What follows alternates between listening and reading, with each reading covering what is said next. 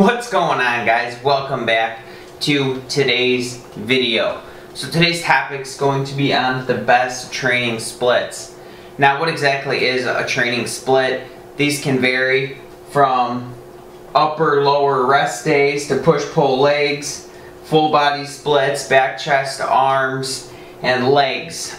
So there's so many different variables and different kind of training styles that you can follow. There's not really an end all be all one perfect training style exactly. This can all vary from what you prefer, how you like to exercise, and how often you like to hit specific body parts.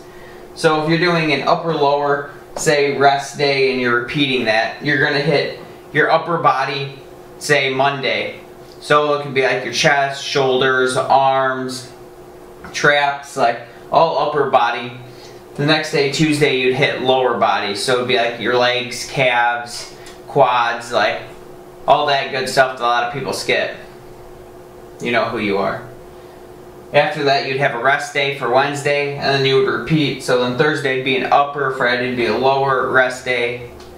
Next one could be a push-pull legs day. So push would be um, anything that you're pushing the weight. So like bench press, overhead press, um, cable flies, like all sorts of those kind of movements where you're pushing the weight away from you. So pull would be the opposite of say like deadlifts, rows, um, lat pull downs, and then, and then legs.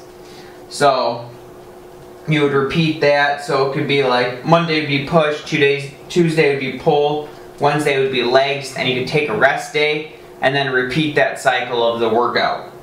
Now my personal favorite lately has been the full body splits. So hitting every body part just about daily. So doing a chest exercise, a back exercise, legs, calves, shoulders, and really incorporating that and enjoying it. I've seen some good progress from this style so far. Um, it it can vary. Sometimes if you're just starting out, I probably wouldn't do this right off the bat because you might be sore from hitting the body part every single day. But it's so far been my absolute favorite to do.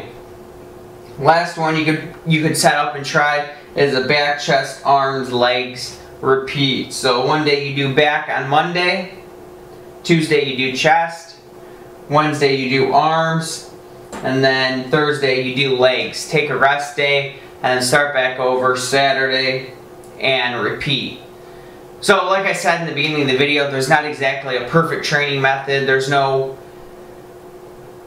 workout routine training split that's going to get you better results than any other. It's just about like staying consistent, progressively overloading your muscles and forcing them to grow.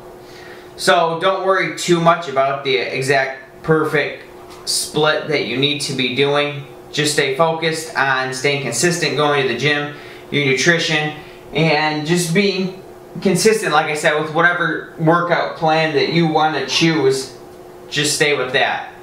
I hope that was helpful. If you got any questions, drop them down below as always. And I can't wait to hear from you guys.